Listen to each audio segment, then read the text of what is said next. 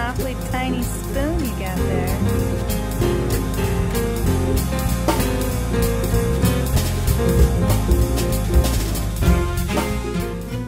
For this video, I should make a thumbnail like, ooh, or ah. Yeah. what does a scared person do? Faint. Like, ah. Oh. Yeah.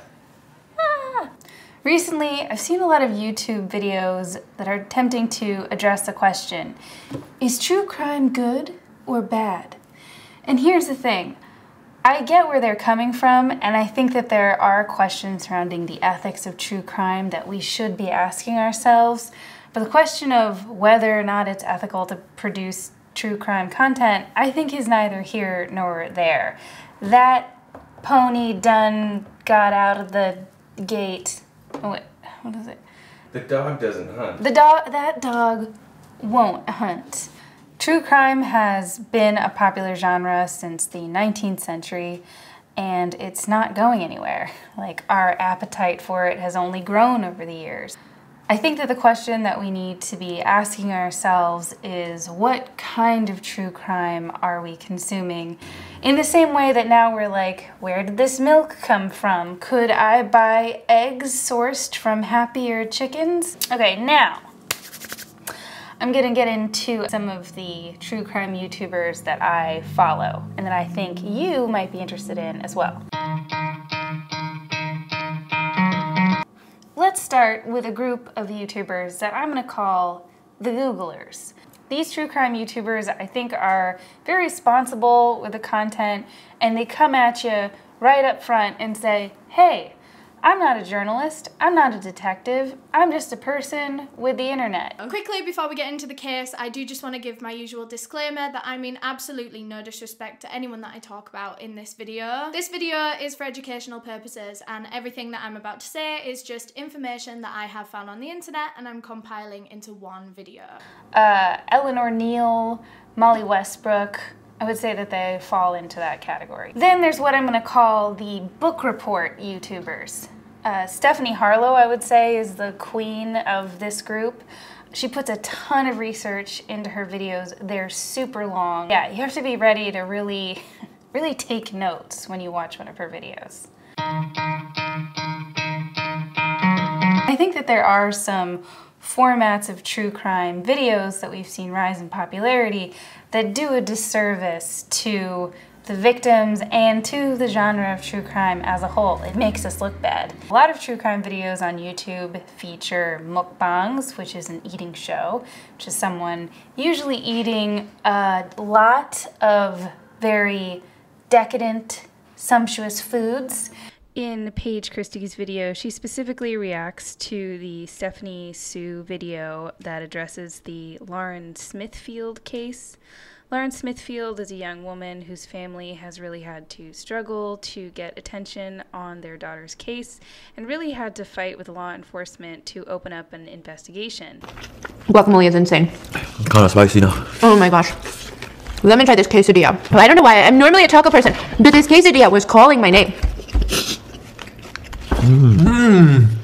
Now, today's case that I'm talking about, I saw on TikTok, and it, I didn't really want to talk about it because I don't know. I guess I 8 minutes and 12 seconds. 8 minutes and 12 seconds. 8 minutes and 12 seconds to talk about the Lauren Smith Field case. That's 8 minutes and 12 seconds of a 40 minute video. So that's almost 25% of the entire video just eating and sponsors.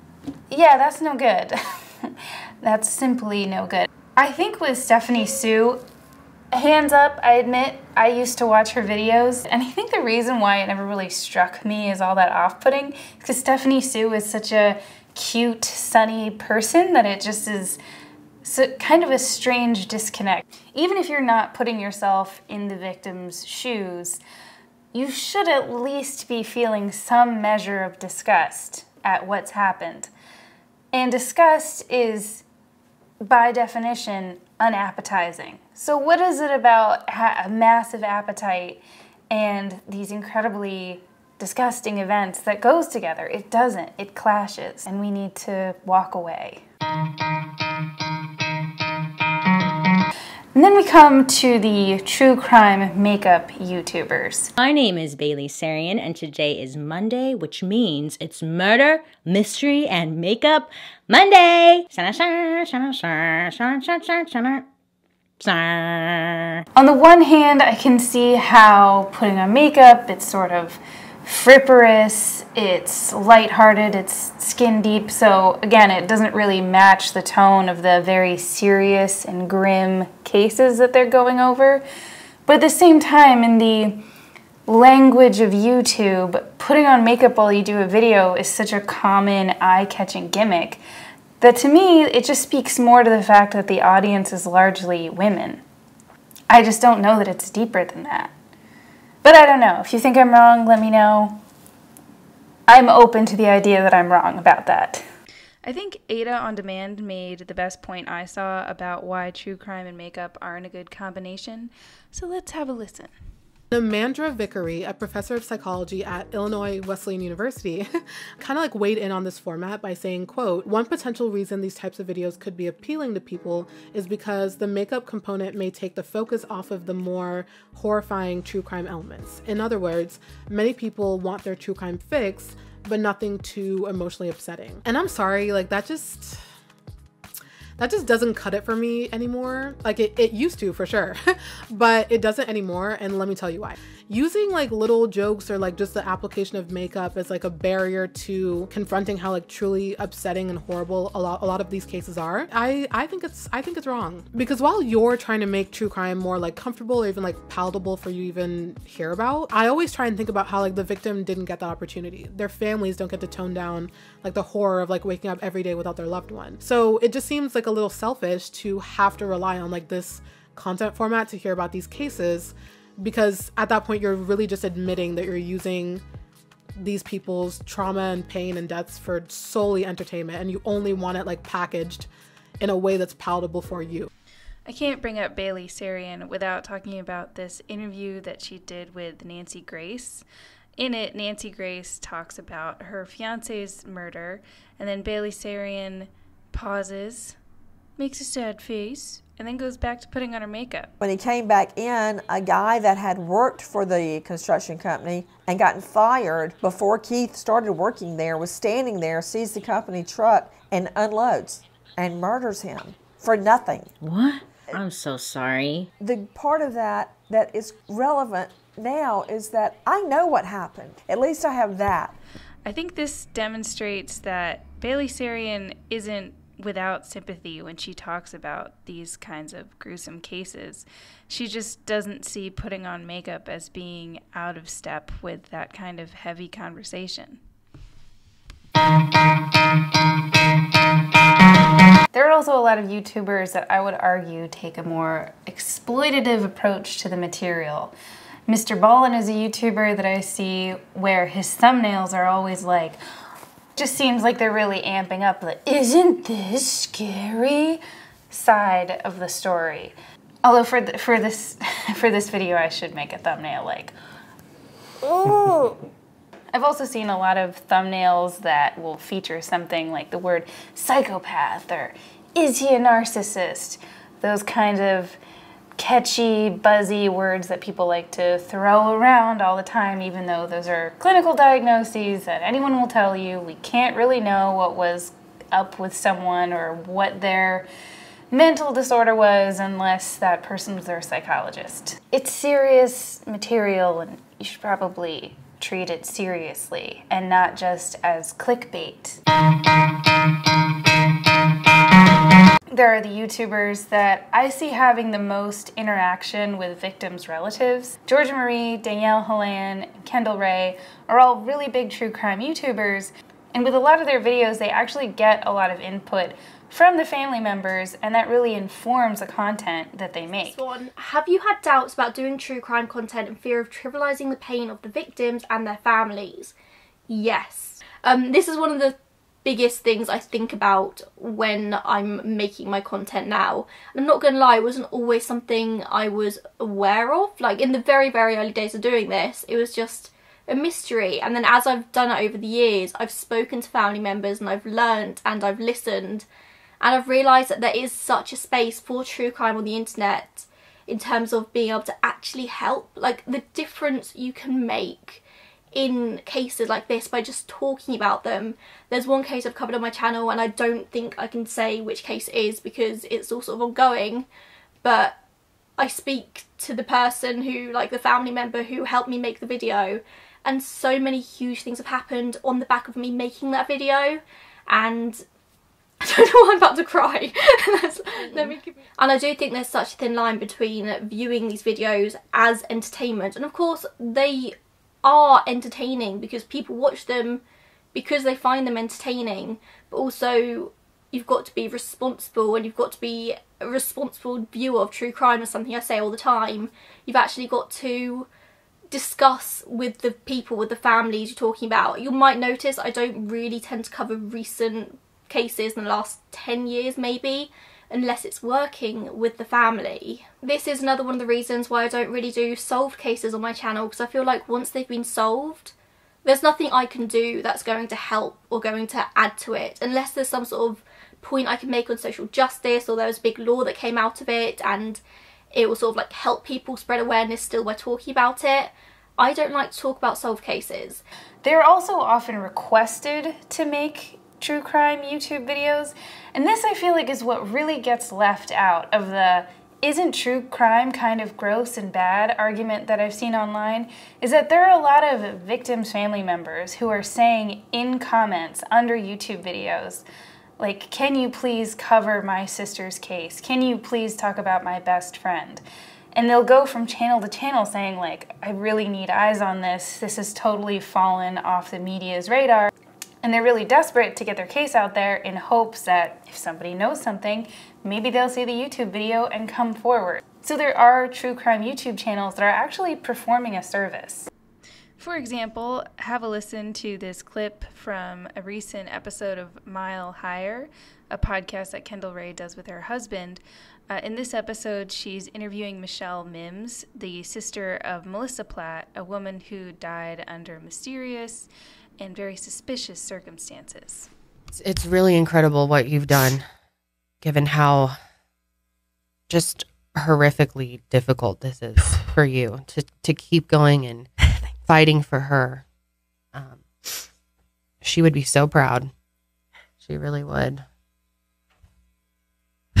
And just year after year after year of trying to go through the right channels, the police, the district attorney, up to this the attorney general, the governor. I mean, we sent letters to all these people. I I started contacting all these like major uh, news organizations and like Nancy Gray, all these people, like anybody I could, and just nobody ever would get back to me. Nobody. And then that's what set me on the path that I just had an epiphany, and I said, you know what? I'm just going to try this. I'm going to contact these true crime YouTubers that I've that I watch, and just see if maybe I can get exposure to a case, her case that way. Yeah. And that's how this whole thing started. Is because nothing else was working and i'm like i've got to do something i've got to do something and and the response has just been so heartwarming But it's kind of wild that you contact all these other professionals who are supposed to help. And the only people who can really bring you that help are some girls on with Google and YouTube. Like it's just it's crazy that that's really where people that's all the only place people have to turn to at the end is getting that public support somehow. And it's amazing that we can do that, but it's Yeah. just so sad and so broken. Another creator that I wanted to bring up in this vein is Sarah Turney, who made the Voices for Justice podcast about her sister, Alyssa Turney, who disappeared in 2001. It's a really interesting story. I really recommend listening to her podcast.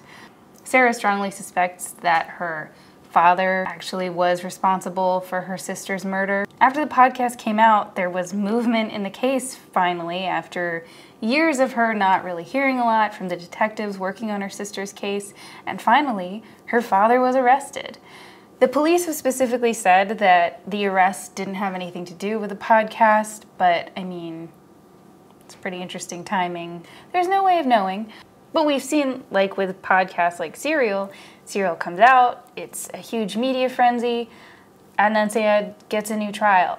I think that it's fair to speculate that having a lot of eyes on a case helps it get a lot of attention. Sarah Turney is also someone who's given talks at CrimeCon about ethics in true crime and consuming true crime responsibly. And she's talked about how she's been approached by, I think, maybe documentarians or YouTubers who want to make content about her sister's case.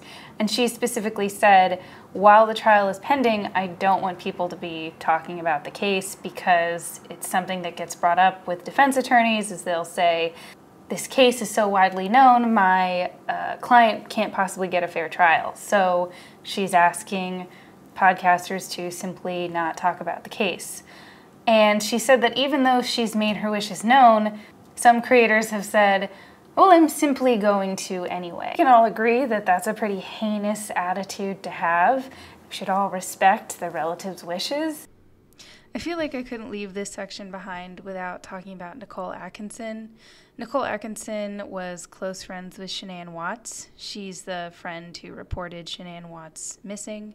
And she has published a video specifically calling out YouTubers who make videos over and over again about Chris Watts revisiting the details of this solved case and who seem to expect her to continually revisit this horrible time in her life. I'm going to try really hard to not start crying. But you want to message me and offer condolences or say something to me nice about my friend and her children, by all means, please do. They are appreciated, they are welcomed, but if you want to message me and ask me questions about what happened or that day, go fuck yourself. Really. Read the 2,000 pages of discovery. Watch the fucking body cams. Like, it's all out there. Whether we wanted it out there or not, it's there. You've all taken it and you have done what you wanted with it. You've talked about it on groups and groups and groups.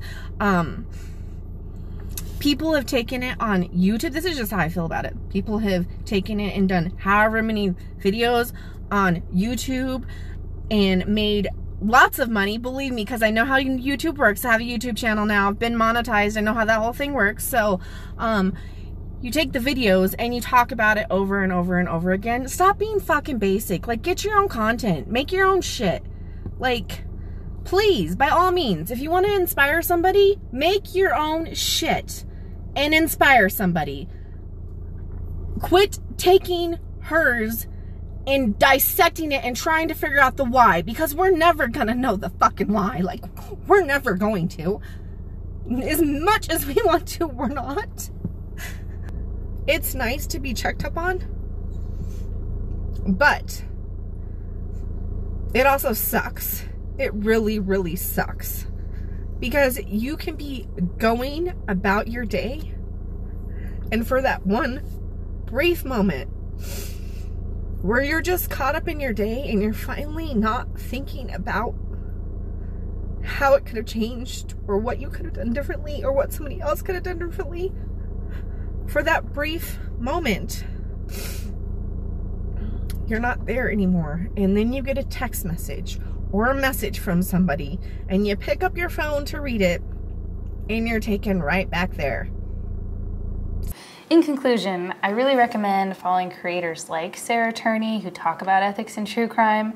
Where I've been moving with my true crime interest is these days I try to consume podcasts and YouTube videos that are by people who have a strong connection to the case. They're people who have either specifically interviewed family members or they're lawyers like Scott Reisch on Crime Talk, or lawyers and forensic psychologists like on uh, Hidden True Crime podcast. They do great live streams about the Lori Vallow case, if you know about that. And then my pals over at LA Not So Confidential, uh, Dr. Shiloh and Dr. Scott, are both psychologists who work with law enforcement. So when they talk about narcissism and gaslighting and psychopaths, they actually know what they're talking about. I'm not a perfect true crime consumer by any means, uh, but I want to be better. And that's it.